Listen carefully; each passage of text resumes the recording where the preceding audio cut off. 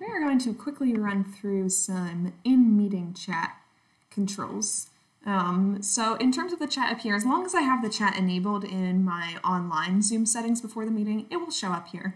Um, and I want to point to, so there's this drop-down menu that no one else is here. So um, you can chat with everybody or you can chat with, with um, not multiple people, with individual people. Um, right now I have file sharing set up, so I can share files in the chat. Um, and this dot dot dot, this more setting, that's the security setting for the chat. Um, so right here, um, we go to participant can chat with. Um, so right now it's set up as no one, um, which basically means that the chat is disabled. Um, so I can chat with everybody. I can say, hey, but nobody can chat back with me. Nobody can chat back with anybody.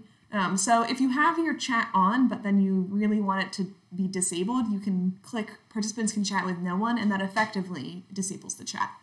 Um, we can click on participant can chat with host only, um, which means that they can only private message you.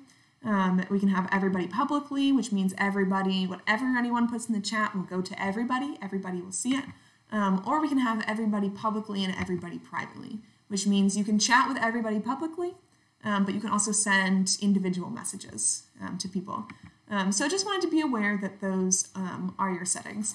Um, and if you have your save chat function on in your online settings, you can also click this save chat button. So if there's a bunch of stuff going on in the chat and you want to make sure that you save it, I can click this save chat button, it will save it, and it will even show me in my folder here's where it is, and I can open it up as a text and see, okay, Mac said hey.